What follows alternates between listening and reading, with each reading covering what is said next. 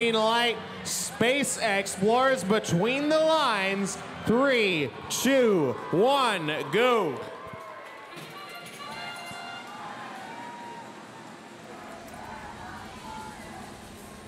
Sandstorm.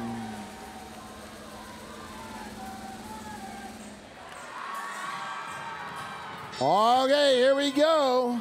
Visibility is now very, very clear, and it's also very, very clear that the Blue Alliance needs this to stay in.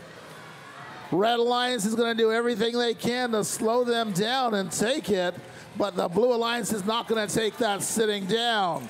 As you can see, Allspark 9 is playing some really tough defense over here, keeping 1325 from scoring. 188 over at the end of their cargo ship, unhindered. Shoots, he scores. Ice Cubed trying to work their way around the Aztecs. Aztecs is doing a little dance in the Blue Alliance zone and pushing the robots back towards their loading zone. Still 1325 having difficulty. They can't get a hatch panel in play because the Blue Alliance is very strong. Oh, there we go.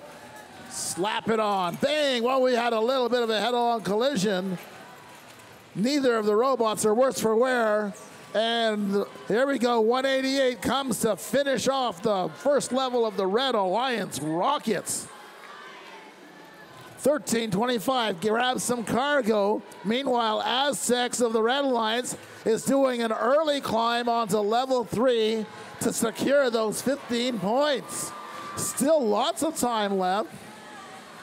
Now we have just two Red Alliance robots working hard out there while one is giving instructions from the habitat zone. 49-39 still playing a tough defensive role and really, really hindering 13-25.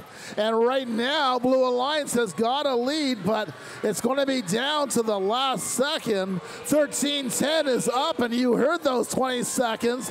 What's going to happen with that Blue Alliance right now? They're ahead. Will there be a double climb for the third level? Up they go. Folks, this is going to be close. Not quite. Oh, no. Oh, no. And down they go. But the Blue Alliance has still got a lead. It's pretty tight screen.